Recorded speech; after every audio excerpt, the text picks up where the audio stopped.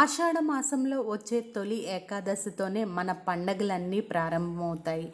అసలు తొలి ఏకాదశి అంటే ఏమిటి? దానికి మనం ఎలా పూజ చేసుకోవాలి?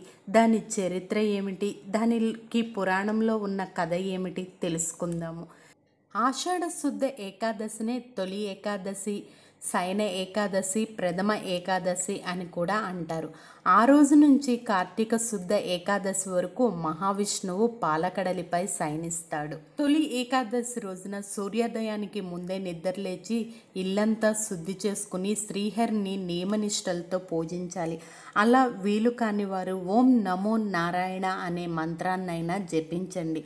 శుభ్రం చేసుకుని విష్ణుమూర్తికి పసుపు కుంకుమ పుష్పాలతో అలంకరించి చక్కెర పొంగలి నైవేద్యంగా సమర్పించాలి.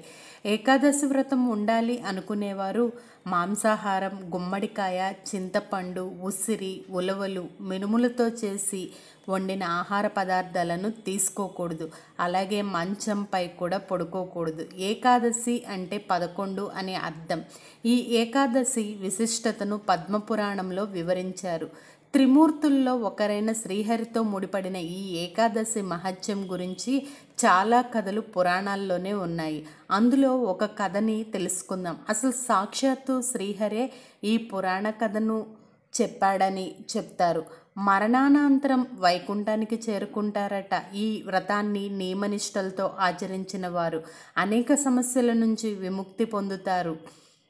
ఏకాదశి కథ ఏమిటి అంటే కృతయుగంలో మురాసురుడు అనే రాక్షసుడు బ్రహ్మవరంతో దేవతలను ఋషులను హింసించడంతో శ్రీ మహావిష్ణువు అతనితో వెయ్యేళ్ళు పోరాడి అలసిపోయి ఓ గృహలో విశ్రాంతి తీసుకుంటాడు. శ్రీహరి శరీరం నుంచి ఓ కన్య ఆవిర్భవించి రాక్షసుణ్ణి అంతం చేసిందట. ఇందుకు సంతోషించిన శ్రీ మహావిష్ణువు ఆ కన్యను వరం కోరుకోమనగా తాను విష్ణుప్రియగా లోకం చేత పూజించబడాలని కోరుకుందట.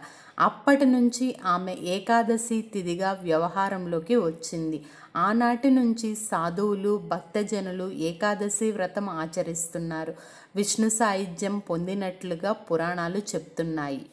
అని పద్మపురాణంలో పేర్కొన్నారు. ఇది ముఖ్యంగా రైతుల పండగ.